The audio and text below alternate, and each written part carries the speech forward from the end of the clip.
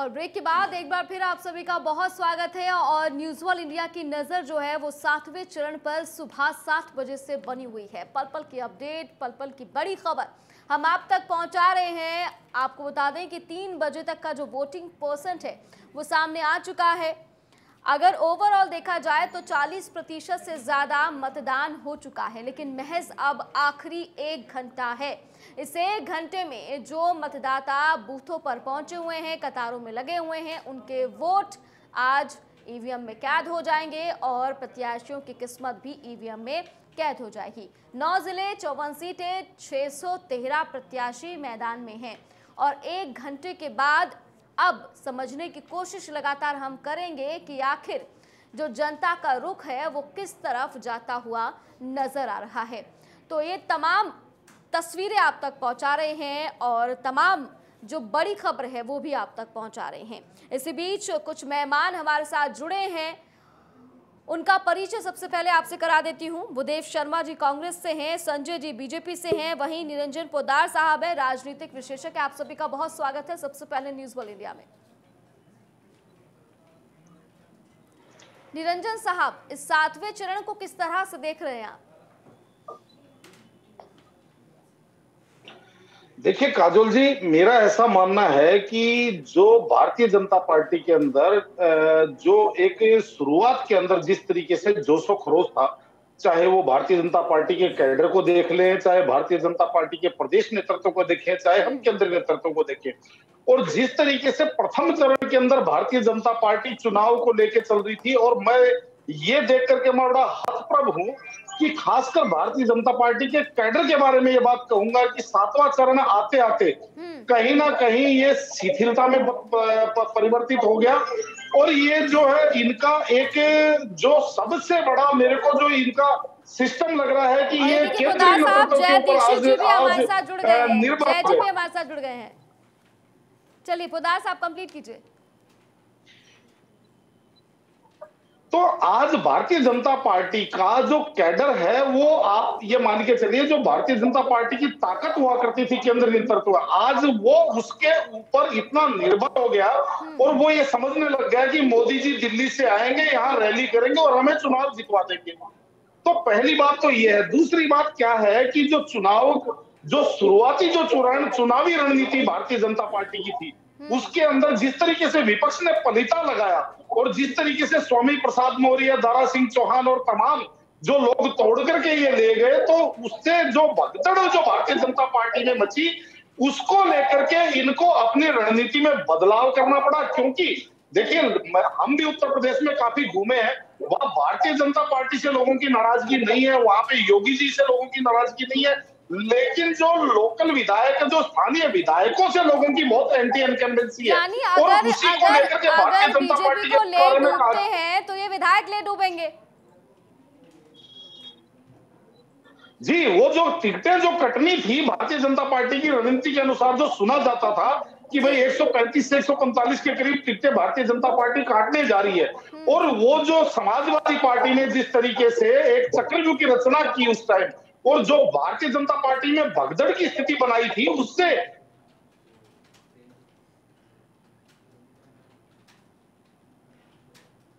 Kilo का सामना की है। काजोल जी जो मेरे हिसाब से भारतीय जनता पार्टी आराम से जीतती वो सीटें आज भारतीय जनता पार्टी को या तो बहुत ज़्यादा टक्कर में है या भारतीय जनता पार्टी की वो सीटें मुश्किल में है तो, जो सातवें चरण के अंदर देख देख रहे हैं कि जो उदासीनता आप, आप सहमत है पुदार साहब से? आप सहमत है? काजल जी नमस्कार। मेरे सभी पैनल में जुड़े बंधुओं को मैं नमस्कार करता हूँ। मैं अभी निरंजन जी को सुन रहा था हमारे खुदार जी को। जी। शायद विपक्ष ने भारतीय जनता पार्टी को अंडर एस्टिमेट कर दिया। हम्म। आज के डेट में मैं आपको बताऊँ पिछले चुनाव का अगर हम आकलन करें 2017 में चुनाव त्रिकोणीय था।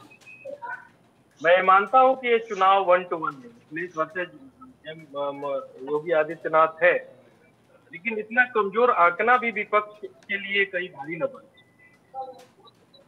और दूसरा, मैं, मुझे नहीं लगता कि भारतीय जनता पार्टी जो सत्ता में विराजमान है और उसके कार्यकर्ता और उसके पदाधिकारी बहुत शिथिल हो गए हैं और बहुत चुनाव को पहले ही हैंड्स करके हाथ दिया मेरा ये मानना है कि भारतीय जनता पार्टी बहुत प्रमुखता से लड़ रही है हम्म। और उन मुद्दों पे लड़ रही है जो जनता को डायरेक्ट कनेक्ट करता है भ्रष्टाचार के मुद्दे पे लड़ रही है चौबीस घंटे बिजली के मुद्दे पे लड़ रही है आप वहाँ नहीं लड़ पा रहे हैं आप जब पश्चिम में पदार जी की बातों से थोड़ा सा असहमत इसलिए हो कि जब आप प्रथम चरण के चुनाव चले तो आपके लिए किसान मुद्दा था हम्म। तीसरे चौथे चरण में चुनाव आते आते आपके लिए सांड और बेरोजगारी ये सब मुद्दे बन गए। तो हम्म। आप चरण दर चरण अपना मुद्दा बदलते रहे और जनता भ्रमित होती रही तो मुझे ऐसा लगता है कि चरण दर चरण नहीं प्रदेश एक है तो मुद्दा भी एक होना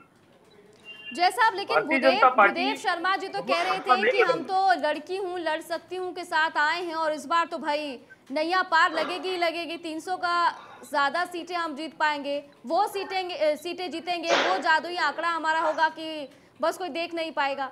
भूदेव शर्मा जी तो कह रहे हैं। जी मैं पिछली बार जब भूदेव जी अखिलेश जी के दोनों लड़के आए थे उत्तर प्रदेश में चुनाव लड़ने में तो इस टाइम पे इनका टोटल वोट स्टेक अट्ठाईस परसेंट के आसपास जिसमें छह प्रतिशत के आसपास कांग्रेस थी और इक्कीस प्रतिशत इक्कीस पॉइंट कुछ प्रतिशत के आसपास अखिलेश जी थे। हम्म। तो अगर छह प्रतिशत के आंकड़े वाले ये कहें कि मैं इकतालीस प्रतिशत क्रॉस कर रहा हूँ तो शायद अतिशोक्ति होगी। मुझे लगता है कांग्रेस को अभी और मेहनत करने की ज़रूरत है। शर्मा साहब और मेहनत करने की ज़रूरत है आप लोगों को। इस बार तो उम्मीद बहुत ज़्यादा थी कि वो जादुई आंकड़ा छुएँगे कि बस चारों खाने चित। देखिए काजल जी अच्छी बात है कि जय दीक्षित जी ने अच्छा विश्लेषण किया बड़े अच्छे से समझाया हम्म। कि बीजेपी क्यों आनी चाहिए क्यों दूसरी पार्टियाँ नहीं आनी चाहिए। लेकिन उन्होंने जिन मुद्दों का नाम लिया तो मैं ये बताना चाहता हूँ कि भारतीय जनता पार्टी कभी भी किसी मुद्दे पर चुनाव नहीं लड़ी है। और आप ये बोलते हो कि एक चरण में दूसरा मुद्दा हो गया दूसरे चरण में तीसरा मुद्दा हो गया तो आज उत्तर प्रदेश की तानाशाही सरकार के खिलाफ इतने मुद्दे हैं जिनको लेकर के विपक्ष जनता के बीच में गया है। और पूरी आज ये 21वीं सदी का भारत है।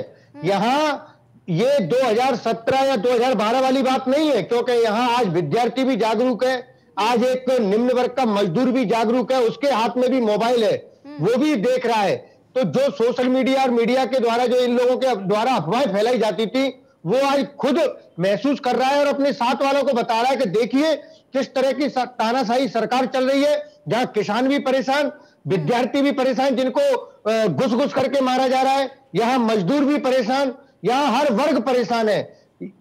पुलिस इतनी तानाशाही हो गई है कि घरों होटलों में एनकाउंटर कर रही फर्जी एनकाउंटर किए गए तो जय जी, मुद्दे वही होते हैं।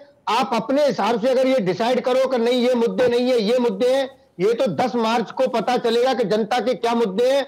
वैसे तो आज सातवें चरण को आते आते ये साबित हो चुका है कि भारतीय जनता पार्टी ने अपने हाथ खड़े कर दिए। अब वो जो प्रचार में जितनी शुरुआत से पहले जो दम लगा रहे थे केवल उत्तर प्रदेश में और किसी राज्य में तो वो थे ही नहीं। हम्म। उत्तर प्रदेश को भी अब उन्होंने छोड़ दिया। आज आज देखने से लग रहा है हाँ बिल्कुल काजल जी आज ये लगता है कि उत्तर प्रदेश को भी उन्होंने छोड़ दिया है। हम्म। अब उनको ये पता चल चुका है कि चार राज्यों को तो हम चुनाव से पहले ही छोड़ चुके थे लेकिन आज इन्होंने उत्तर प्रदेश को भी छोड़ दिया वहाँ की जनता ने इनको जवाब दिया है। निश्चित तौर पे 10 हम्म। मार्च को आश्चर्यजनक परिणाम आपको देखने को मिलेंगे। हम्म। संजय त्यागी जी भी होंगे और जय दीक्षित जी भी होंगे जिनसे हम तो पूछेंगे कि आपने क्या आकलन किया था। और नहीं दिखे तो ईवीएम हैक हो गई। शर्मा जी। नहीं ईवीएम नहीं नहीं ईवीएम हैक होगी या नहीं ये तो जनता बताएगी। जनता 10 मार्च को बताएगी कि कौन कहेगा कि ईवीएम हैक हुई है कौन कहेगा कि क्या हुआ है तो वो तो 10 मार्च को पता चलेगा। आप निश्चिंत रहिए कि भारतीय जनता पार्टी का एक भी प्रवक्ता टीवी पर नज़र नहीं आएगा 10 मार्च को क्योंकि ये जवाब नहीं देने दे, देते नहीं बनेगा किसी राज्य में सरकार नहीं आएगी। ठीक है संजय जी। जी मैं ऐसे समझू शर्मा जी क्या मैं ऐसे समझू? जय साहब जय साहब जय साहब एक मिनट एक मिनट संजय जी बहुत देर से कुछ कहना चाह रहे हैं। एक मिनट जय साहब एक मिनट बस संजय जी कंप्लीट करिए उसके बाद जय साहब कुछ कहना चाह रहे हैं उसके बाद वहाँ जाएँगे और उनसे जानने की कोशिश करेंगे क्योंकि जवाब शर्मा जी ने इनका ही दिया है। देखने वाला विषय ये है हमारे जो कांग्रेस के साथी प्रवक्ता कह रहे हैं कि आश्चर्यजनक नतीजे आएँगे। बिल्कुल आश्चर्यजनक नतीजे आएँगे क्योंकि उत्तर प्रदेश के अंदर कांग्रेस पार्टी का खाता भी नहीं खुलने जा रहा है। हम्म। ये सुनने पर ही निमट जाएँगे जैसा कि आपने कहा था कि लड़की हूँ लड़ सकती हूँ के नारे के साथ ये आए थे। और इनकी जो पोस्टर गर्ल थी प्रियंका मौर्या जी जो डॉक्टर थी जिनको ये पोस्टर गर्ल बना करके लाए उन्होंने भी भारतीय जनता पार्टी ज्वाइन कर ली। देखिए कांग्रेस उत्तर प्रदेश में जो ये मुद्दों की बात कर रहे हैं मुद्दा था उत्तर प्रदेश में मुद्दा था परिवारवाद का मुद्दा प्रमुखता से रहा है। हम्म, जो राष्ट्रीय पार्टी कांग्रेस की हताशा देखिए सच्चाई तो ये है कि आप और हम अपना समय व्यस्त कर रहे हैं कांग्रेस पर बात करके भी। एक राष्ट्रीय पार्टी खाता ना खुलने के कगार पर हो जितनी दुर्गति कांग्रेस पार्टी की इस वक्त हुई है यह देश और प्रदेश की जनता ने की है। बहुत ही इन्हें गहन आत्मचिंतन और मनन की ज़रूरत है। कांग्रेस पार्टी आज़ादी के बाद से आज तक अपने परिवार से अलग राष्ट्रीय अध्यक्ष नहीं बना पाई। यही तो परिवारवाद है इनका। संजय जी संजय जी इसको मैं क्लियर करूँगा। इनका। इसको मैं क्लियर करूँगा। आप आप संजय जी इसको मैं आपसे क्लियर कर दूँ कि आप पहले देख के आइए कि कांग्रेस के राष्ट्रीय अध्यक्ष कौन कौन रहे हैं। नहीं नहीं नहीं आप ये क्लियर करके आइए। आप क्लियर करके आइए नहीं राजनाथ सिंह जी के लड़के को टिकट देना परिवारवाद नहीं है। और अमित शाह जी के लड़के को जो क्या बीसीसीआई का सचिव बनाना ये परिवारवाद नहीं है। परिवारवाद नहीं है। यहाँ लोकतंत्र है। से कहना चाहूँगा कि भाई अभी एक घंटे बाद रुझान आ जाएँगे एग्जिट पोल आ जाएँगे ये उनको भी नहीं मानेंगे। क्योंकि संजय जी आम आम जनता और सोशल मीडिया तो कह रहा है कि साइकिल आगे निकल गई है बुलडोजर से। देखिए साइकिल तो पंचर होकर के कबाड़े में उत्तर प्रदेश की जनता ने भेज दी है। हम्म। साइकिल को तो कोई फ्री में भी वो इसके पंच है। उसको तो कोई लेने के लिए तैयार भी नहीं है। अच्छा बुलडोजर खरीद रहे हैं करोड़ों में? जनता ने कबाड़ा कर बुलडोजर करोड़ों में खरीद रहे हैं। संजय जी साइकिल कोई फ्री में नहीं ले रहा है बुलडोजर करोड़ों में खरीद रहे हैं। देखिए बुलडोजर स्थिति ये है। हम्म। बुलडोजर तो बाबा जी की सभा में अपने आप बुलडोजर वाले बुलडोजर लेकर के पहुँचते हैं। बाबा अच्छा। तो बाबा जी बाबा जी खुद दिखाई नहीं दे रहे हैं सातवें चरण से पहले गायब हो गए। कि भाई बुलडोजर तो मैंने सर्विसिंग के लिए भेज दिए हैं। सर्विस होकर के वो आ रहे हैं और 10 मार्च के बाद में पुनः बुलडोजर मैदान में दिखाई देगा। हम्म। क्योंकि उत्तर प्रदेश के अंदर जितने माफिया भू माफिया और राजनीतिक संरक्षण पाए लोग संजय जी, संजय जी, संजय जी अब से अब से जब से आप लोगों के साथ चर्चा हुई है उससे पहले ना कुछ रिपोर्टर्स हमारे जो हैं हमारे साथ जुड़े हुए थे मऊ से। मऊ से हमारा रिपोर्टर है आसिफ वो हमारे साथ जुड़ा था। वहाँ की जनता से बातचीत कर रहा था। वहाँ का एक युवा था जिशान नाम था उसका। बहुत नाराज़ है आपकी सरकार से। पाँच सालों में कुछ नहीं हुआ, कहते बुनकर था, बुनकर परिवार से था। मऊ में बहुत सारे बुनकर परिवार हैं। वन प्रोडक्ट वन डिस्ट्रिक्ट को लेकर एक मुहिम छेड़ी गई कि इसके तहत काम किया जाए ताकि जो छोटे उद्योग है, लघु उद्योग है, उनको बढ़ावा मिल सके। वो कहता है कि सरकार ने उस पर भी कुछ नहीं किया। बुनकर परेशान हो रहे हैं। युवा जो है, वो रोज़गार के लिए तरस रहा है। साढ़े चार नौकरी का दावा आप लोगों ने किया है। युवा बोलते हैं कि अगर साढ़े चार लाख नौकरी दी है तो फिर इतनी संख्या में आम जनता या युवा कहें वो बेरोजगार क्यों है? संजय जी जिशान क्या झूठ बोल रहा था? है तो मऊ का आपके। आपके प्रदेश का ही है आपके प्रदेश का युवा ही है। जी मऊ से आपको पता है माफिया का पुत्र वहाँ से चुनाव लड़ रहा है हर माफिया का पुत्र चुनाव लड़ रहा है तो हर एक हर एक व्यक्ति को माफिया नहीं कहेंगे ना आप। हर एक हर एक इंसान को आप माफिया नहीं कह देंगे कि पूरा मऊ ही माफिया है। ऐसा तो नहीं हो सकता। संजय जी। जो सरकार से सवाल करता है वो माफिया है वो गुंडा है। एक मैंने मिनट? साहब एक मिनट। संजय जी। भूदेव जी जरा अपनी बारी का इंतज़ार कीजिए आपसे निवेदन है। संजय जी आप मेरी बात का जवाब दे दीजिए पहले। सुना था आपके बीच में बोलने की बीमारी नहीं गई इसी हम्म। वजह से देश और प्रदेश की जनता आपको रिजेक्ट कर चुकी है। आप कितना कोई बात नहीं, है। उसका कोई लाभ ठीक है, संजय जी, आप मेरी बात का जवाब दीजिए। कांग्रेस पार्टी जीवित नहीं हो जाएगी। संजय जी मेरी बात का जवाब दीजिए आप। देखिए ऐसा है मैंने अभी आपको बताया 2007 से जहाँ तक आपने रोज़गार की बात की सरकारी आंकड़े हैं यहाँ बैठ करके जिम्मेदार चैनल पे कोई झूठ नहीं बोला जा रहा ऑन रिकॉर्ड मैं बता रहा हूँ 2007 से 2012 तक बहुजन समाज पार्टी की सरकार थी उन्होंने रोज़गार देने का काम किया तीन लाख। 2012 से 2017 तक प्रदेश में समाजवादी पार्टी की सरकार थी उन्होंने रोज़गार देने का काम किया साढ़े तीन लाख। 2017 से 2022 तक उत्तर प्रदेश में आदरणीय यशस्वी मुख्यमंत्री योगी आदित्यनाथ जी के नेतृत्व में भारतीय जनता पार्टी ने पाँच लाख रोज़गार देने का काम किया है। तो ये दावे पूरी तरीके से मिथ्या है राजनीति से प्रेरित बयान है। अच्छा तो देश का युवा जो है वो गलत कह रहा है। देश का युवा यूँ ही बरा गया है। देखिए तथ्यों का ज्ञान जिस भाई को नहीं होता वो देश का वो देश के युवा हो सकते हैं लेकिन वो राजनीति से के ज्ञान की बात नहीं कर रही हूँ। देखिए एक आम जनता देखिए मैं भी अगर मैं अगर बोलूँ कि मैं पश्चिमी उत्तर प्रदेश से हूँ। मैं अगर कहूँ कि मैं पश्चिमी उत्तर प्रदेश से हूँ मुझे ये सुविधा नहीं मिली है तो मेरा हक है कि आपसे मैं सवाल करूँ कि मुझे सुविधा क्यों नहीं मिली? मैं तो बोलूँगी आप चाहे कितना भी बोलते रहिएगा कि हमने तो सुविधा दी हमने तो सुविधा दी पर हमें तो सुविधा नहीं मिली ना। मैंने जो आंकड़ों की बात की है सरकारी हम्म। आंकड़े हैं सारी चीज़ें विभिन्न विभागों के वेबसाइट पर उपलब्ध है हम्म। मैंने बताया ना 2007 से 2012 तक बसपा सरकार ने कितनी नौकरियाँ दी 2012 हम्म। से 2017 तक सपा सरकार ने कितनी नौकरियाँ दी 2017 से 2022 के बीच में भारतीय जनता पार्टी ने पाँच लाख लोगों को नौकरियाँ देने का काम किया अच्छा फिर भी जनता बेरोजगार है। पाँच लाख नौकरी लेकर भी। बुदेव शर्मा जी आपके पास आऊँ से पहले। संजय जी एक मिनट अब रुकेगा। एक सबसे बड़ा राज्य है। संजय जी अब रुकेगा आप। अब अपनी बारी का आप इंतज़ार करिएगा। जय जी जय जी आप कुछ बोल रहे थे बहुत देर से। जी कोमल जी मैं कहना ये चाहूँगा कि बेरोजगारी एक बड़ा मुद्दा है जो सरकार दर सरकार हम्म। कभी खत्म होने का नाम इसलिए नहीं लेती कि हमारे पास कोई एक टकड़ा है ही नहीं कि हमारे पास एक्चुअल युवा है कितने हम्म। जिनको नौकरी दिया जाए तो आज के डेट में बेरोजगारी महँगाई एक ऐसा हम्म। मुद्दा है जो कोई भी सरकार आ जाए तो किसी के पास जादू की छड़ी नहीं इससे मुझे लगता है कि मेरे पेरेंट्स सारे में जो है वो सहमत होंगे और इनके पास कोई मुद्दा नहीं तो ये महँगाई और बेरोजगारी एक ऐसा मुद्दा है जो आप किसी भी चुनाव में उठा लीजिए बड़ा सटीक बैठ जाता है और उस पर काम करने की ज़रूरत है।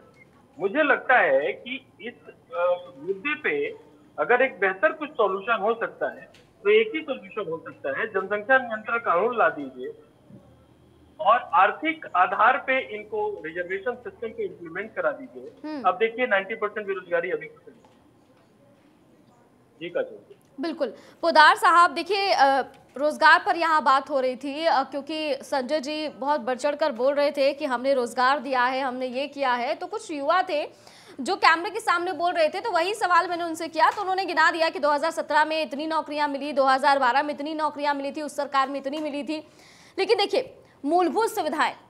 अगर वाराणसी के पास एक बस्ती का मैं ज़िक्र करूँ, मुझे नाम याद नहीं आ रहा है, मैंने खुद वहाँ की तस्वीरें देखी है। वहाँ वो दलित बस्ती है। उनसे जब कोई पूछता है कि आपने किसे वोट किया तो वो बताती हैं कि हमने इसे वोट दिया, चाहे बीजेपी को दिया हो, सपा को दिया हो, या किसी को भी दिया हो। लेकिन वहाँ के लोग मानते नहीं हैं, कहते कि नहीं, आपने तो आप तो दलित है तो आपने मायावती को ही वोट दिया होगा। ये कहते हैं लोग। तो उनका, जो वहाँ की महिलाएँ हैं, जो युवा हैं, उनका मानना था कि जब हमें यही कहा जा रहा है कि हमने मायावती को ही वोट दिया है तो हम तो फिर मायावती को ही वोट देंगे। क्योंकि उनके पास जो तस्वीरें मैंने देखी, देखिए, सड़क के नाम पर तो कुछ था ही नहीं। घरों के सामने जो छप्पर थे, घर नहीं कह सकती मैं उसे, छप्पर थे जो तिरपाल होती है, वो लगाकर लोग रह रहे हैं। छोटे छोटे मासूम बच्चे, बहुत छोटे छोटे किसी के घर में कोई कमाने वाला नहीं है, कोई महिला खुद मजदूरी करके पेट पाल रही है, ये वो तस्वीरें थी। वाराणसी का एक गाँव था, वाराणसी, प्रधानमंत्री नरेंद्र मोदी का संसदीय क्षेत्र है, जहाँ पर विकास अभी तक पहुँचा ही नहीं है। विकास होना तो बहुत दूर की बात है। तो ऐसे में कैसे कहा जा सकता है कि हमने तो सभी का विकास किया है?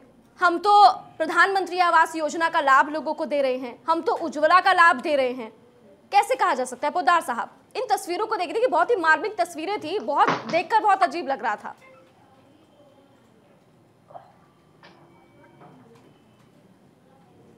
पोदार साहब पहले अनम्यूट कर लीजिएगा आपकी आवाज़ नहीं आ पा रही है जी काजोल जी देखिए ऐसा है हमारे हिंदुस्तान के अंदर जो पिछले सत्तर साल के अंदर जो राजनीतिक डिस्कोर्स बन गया है चाहे वो जनता का कहें चाहे वो नेता का कहें हम्म। और कदाचित मैं इसके अंदर सभी पार्टियों को इसके अंदर सम्मिलित करूँगा हम्म। कि यहाँ पे जो वोट पड़ता है उसके अंदर जातवाद धर्म और मज़हब ये सब चीज़ें उसके अंदर अग्रणी भूमिका निभाते हैं तो देखिए सीधी बात आपको मैं बताऊँ मैं बहुत जगह एक चीज़ बोलता हूँ कि जब आपको एक बंधुआ वोट मिलता है कि भाई हम दलित हैं हम तो केवल बहुजन समाज पार्टी को वोट देंगे हम मुसलमान हैं हम तो केवल समाजवादी पार्टी को वोट देंगे तो उनका विकास क्यों होगा? कोई आदमी वहाँ पे क्यों वोट करेगा? जब मुझे ये चीज़ का पता है कि ये वो ये लोग मुझे वोट देंगे ही देंगे क्योंकि इनको भारतीय जनता पार्टी को हराना है तो निश्चित रूप से मैं वहाँ पे फोकस नहीं करूँगा। मैं तो वहाँ पे अपना अपना जो मेरा विधायक फंड है या मेरी जो योजना हैं मैं तो वहाँ पे इंप्लीमेंट करने की कोशिश करूँगा। जहाँ पे मुझे लगता है कि ये लोग मुझे वोट नहीं देंगे तो मैं उनके यहाँ काम करके वोट लेना चाहूँगा। तो आज आप देखेंगे जितने भी बंधुआ वोट जो भी होते हैं चाहे वो एंटी बीजेपी वोट कहें चाहे वो अल्पसंख्यक मतों मतों को कहें चाहे हम दलित मतों को कहें आप देखेंगे आज मैं उत्तर प्रदेश की बात नहीं कर रहा मैं पूरे हिंदुस्तान के अंदर आपको लेकर के दिखा सकता हूँ कि जहाँ जहाँ अल्पसंख्यक समाज या यूँ कहूँ कि मुस्लिम समाज बहुसंख्या में है जहाँ बड़ी संख्या में है वहाँ पे आपको सबसे कम विकास मिलेगा ना वहाँ पे आपको कोई बढ़िया रोड मिलेंगी ना कोई लेकिन लेकिन लेकिन योगी आदित्यनाथ लेकिन योग मिलेंगे। साहब योगी आदित्यनाथ तो आज ही कह रहे थे कि मुसलमान मुझसे और मैं मुसलमानों से बहुत प्यार करता हूँ गजवा हिंद पर उन्होंने ये बात कही और आप कह रहे हैं कि जहाँ जहाँ मुसलमान की संख्या ज़्यादा है वहाँ वहाँ विकास नहीं हुआ है। देखिए ऐसा है ना काजोल जी चुनावों के अंदर जो भाषण दिए जाते हैं बोला कुछ और जाता है समझा उसका अर्थ कुछ और निकाला जाता है। यही योगी आदित्यनाथ जी की शब्दावली थी कि ये चुनाव 80 और 20 के बीच में हो रहा है इसका आप निहितार्थ निकाल दीजिए। और जो बात कर रहे हैं आपकी उन्होंने कहा कि मैं मुसलमानों को और मुसलमान मुझे बहुत प्यार करते हैं। उससे पहले उनका वक्तव्य ये था कि मेरा रिश्ता मुसलमानों से वही है जो मुसलमानों का मेरे से रिश्ता है। जब जो पत्रकार महोदय थे जब उन्होंने उनको और कुरेदा तब तो उन्होंने एक डिप्लोमेटिक बात करी एक राजनीतिक बात करके उस बात को समाप्त किया। तो बाकी सब जानते हैं कि जो मुस्लिम समाज है उसके अंदर बहुत बड़ा बहुत बड़ी संख्या या मैं कहूँ कि लगभग संख्या भारतीय जनता पार्टी के खिलाफ वोट करती है। तो जो भारतीय जनता पार्टी का विधायक होता है ये आमतौर पे देखिए ये क्रिया की प्रतिक्रिया है काजोल जी। तो इसके लिए हमारा जो भी वोटर है उसको ये चीज़ समझनी पड़ेगी कि हम किसी भी पार्टी के या किसी भी वर्ग के या किसी भी चीज़ को लेकर के अगर हम बंधुआ वोट करेंगे तो निश्चित रूप से वहाँ पे हमारी नगण्यता होगी। आज आज आप देखिए भारतीय जनता पार्टी के बारे में अगर मैं बात करूँ तो भारतीय जनता पार्टी ने जिस समाज को सबसे ज़्यादा लाभान्वित किया है या, या यूँ कहूँ कि जो निचले तबके को इन्होंने पेंशन भी बढ़ाई है इन्होंने राशन भी दो, दो केंद्र की और राज्य की मिलाकर के महीने में दो बार राशन दिया है इन्होंने प्रधानमंत्री आवास भी दिया है इन्होंने वो स्वास्थ्य योजना भी चलाई किंतु आज भी वो वोटर कहीं ना कहीं भारतीय जनता पार्टी से के नज़दीक आने से भी हिचक रहा है। तो इससे क्या होगा? इससे ये होगा कि आगे जाकर के डिस्कोर्स बनेगा कि भाई ये लोग हमें वोट नहीं देंगे। हम इनके लिए चाहे कुछ भी कर लें। तो मेरा ऐसा मानना है कि वोट काम के आधार पे होना चाहिए। वोट जात के या वर्ग के या धर्म के या वर्ग बिल्कुल के प्रदार साहब देखिए ये तो चर्चा है ही क्योंकि आज आखिरी चरण है तो चर्चाएँ आज होंगी क्योंकि शाम से एग्जिट पोल जो है शुरू हो जाएगा। जैसा आप कुछ कहना चाह रहे हो उससे पहले आप कहें मैं भी आपसे एक सवाल करना चाहती हूँ। देखिए आपसे कुछ देर पहले ना हमारे senior executive editor Tilak Chawla ji चर्चा कर रहे थे। चर्चा में उन्होंने एक सवाल किया कि मैं क्या अपनी बाइक की या अपनी गाड़ी की टंकी फुर करवा लूँ? क्योंकि पेट्रोल और डीजल के दाम बढ़ने वाले हैं। तो इस सवाल से ना बहुत लोग ऐसे हैं जो बौखला गए। मेरे से मे- मेरे से पूछ रहे हैं। साहब। जी। जी काजल जी मैंने सुना नहीं। मुझे लगा जय साहब मैं ये कह रही हूँ कि अभी कुछ देर पहले ना हमारे senior executive editor Tilak Chawla ji चर्चा कर रहे थे। तो उनने उन्होंने एक सवाल कर दिया कि क्या आज शाम को मैं अपनी बाइक या फिर गाड़ी की टंकी फुल करवा लूँ? देखिए सवाल उठना लाजमी है हम्म। लेकिन सवाल उठा तो बहुत लोग बौखला गए बहुत लोगों को सवाल रास नहीं आया। क्रूड ऑयल का दाम रूप से चेंज हुआ है रसिया और यूक्रेन की लड़ाई में। तो दाम बढ़ना लाजमी। और आज चुनाव का अंतिम दौर था और मुझे लगता है कि ये बड़ा एक बदलाव तेल के प्राइसों में होने वाला है आज। हम्म। आज और कल में। क्या हो सकता है दस तारीख के बाद करें? बट कहीं ना कहीं सरकार इसमें प्रेशर में है। घबराहट की कोई बात नहीं है एक प्राकृतिक चेंजेज है। मैं पोदार जी की एक बात का जवाब देना चाहता हूँ। हम्म। पोदार जी अभी कह रहे थे कि इनके जो कुछ लोग ऐसे हैं जहाँ पे जो एक वर्ग विशेष एक पार्टी विशेष को ही वोट करता है इसलिए वहाँ विकास नहीं हुआ। मैं ये पूछना चाहता हूँ पोदार जी से हम्म। मैंने सिर्फ़ पिछले पंद्रह सालों से मैं लगातार सरकारों का आकलन कर रहा हूँ। मुझे ये बताइए कि पहली ऐसी सरकार दिखती है जिसने हर उस वर्ग वंचित वर्ग तक पहुँचने की कोशिश की दोनों टाइम का राशन दिया गैस सिलेंडर दिया प्रधानमंत्री आवास दिया और चीज़ें देने के बावजूद अगर आप ये कहें कि उनको छोड़ दिया एक राजनीतिक पार्टी ने। बिल्कुल जय जी देखिए तो माफ़ करिएगा मेरे पास समय की थोड़ी कमी है तो जल्दी जल्दी अपनी बात कंप्लीट करिएगा। बहुत कम समय में। जय जी एक मिनट मेरी बात कंप्लीट हो जाने दीजिए। सहारनपुर की अगर मैं बात करूँ हम्म। तो वहाँ एक फोरेंसिक लैब अभी गृह मंत्री ने जाके उद्घाटन किया और सहारनपुर जो एक बैकवर्ड इलाका लोग माना हम्म। जाता था उसको उसको कहीं ना कहीं एक मुख्य धारा में ला के जोड़ दिया। मैं अगर बुंदेलखंड की बात करूँ तो बुंदेलखंड में मायावती का राज माना जाता था। हम्म। छब्बीस सीटों का वो बुंदेलखंड है जिसमें से अधिकतर जो वर्ग है वो जाटव और एस सी वर्ग है वहाँ पे जो मायावती को वोट करता आया है। लेकिन आज अगर बुंदेलखंड में 24 घंटे बिजली मिल रही है वहाँ से अपराध खत्म है वहाँ पे अ, अ, मुख्य धारा से जोड़ने के लिए दो दो एक्सप्रेसवे अगर वर्तमान सरकार ने दे दिया ठीक है। तो जय जी जय जी जय जी देखिए समय समय की कमी है देखिए समय की कमी है। जल्दी से आपकी बात कंप्लीट हो उसके बाद और भी एक एक कमेंट आखिरी में लेना चाहूँगी। सबसे पहले संजय जी आप अपनी बात जल्दी से कंप्लीट करिएगा भूदेव जी से फिर लास्ट कमेंट और फिर अब मैं इस चर्चा को यही खत्म करूँगी। देखने वाला विषय है देखिए उत्तर प्रदेश की जनता ने हम्म। इतिहास रच दिया है। भारतीय जनता पार्टी दोबारा से उत्तर प्रदेश के अंदर रिपीट होने जा रही है और मेरी सभी विपक्ष के लोगों को सलाह है कि अभी से तीन दिन बाकी है दस मार्च में अभी से प्रैक्टिस शुरू कर दें। ईवीएम का रोना इन्हें रोना है क्योंकि ये अपनी नाकामी और नकारापन को तो स्वीकार करेंगे नहीं।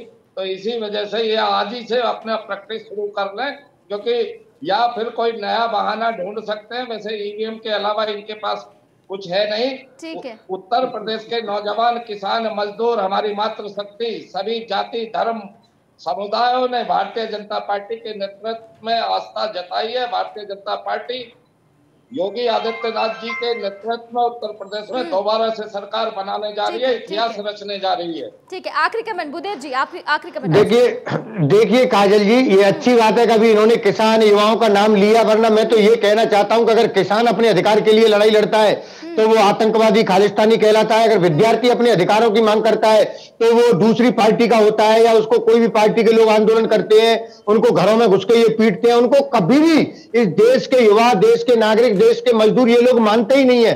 अगर सरकार से कोई भी सवाल करे अगर युवा बेरोजगार रोज़गार के लिए करे तो वो देशद्रोही है आतंकवादी है इस देश का है ही नहीं। दूसरी पार्टी का है। तो जय जी ये बात आप भी मानिए। अच्छी बात है कि आप बीजेपी का अब- अब और- नहीं नहीं संजय जी सुनिए संजय जी सुनिए। संजय ठीक है ठीक है ज़िम्मेदारी ठीक है देखिए मेरे पास समय की अरे संजय जी आप अपनी चिंता की कीजिए अपनी चिंता कीजिए। संजय जी, आप मेरे पास समय निश्चित तौर पर राहुल गांधी जी के तो एक ट्वीट करने पे आपका पूरा का पूरा लेकिन असली इम्तिहान तो अभी बाकी है। नतीजे नतीजों का तो हम इंतज़ार कर ही रहे हैं ना। देखिए एक बार फिर से चर्चा करेंगे। अभी के लिए अभी लिए बस इतना ही। आप सभी का बहुत शुक्रिया हमारे साथ जुड़ने के लिए और चर्चा करने के लिए। तो ये सातवां चरण जो है, बस महज आधा घंटा और बचा है। आधे घंटे में जो भी वोटिंग प्रक्रिया है, वो लगातार जारी है। मतदाता पहुँच रहे हैं मतदान बूथों पर। न्यूज़ वन इंडिया की भी चुनावी कवरेज लगातार जारी, लेकिन इसी बीच एक बड़ी खबर आ रही है, वो आप तक पहुँचा दे। चंदौली की चौकी विधानसभा में वोटिंग खत्म हो गई है। सुबह सात बजे से यहाँ मतदान शुरू हुआ था, शाम चार बजे तक मतदान चला है। सोनभद्र, रॉबर्ट्सगंज, दूधी विधानसभा में वोटिंग खत्म हुई है। नक्सल क्षेत्र होने के चलते कम समय तक यहाँ पर वोटिंग हुई। घोरावल, ओबरा में वोटिंग अभी चल रही है। तो ये जो बड़ी खबर थी, आप लोगों तक पहुंचानी थी। फ़िलहाल एक छोटे से ब्रेक के रुक रहे हैं। ब्रेक के उस पार भी न्यूज़ वर्ल्ड इंडिया की जो चुनावी कवरेज है, वो लगातार जारी है।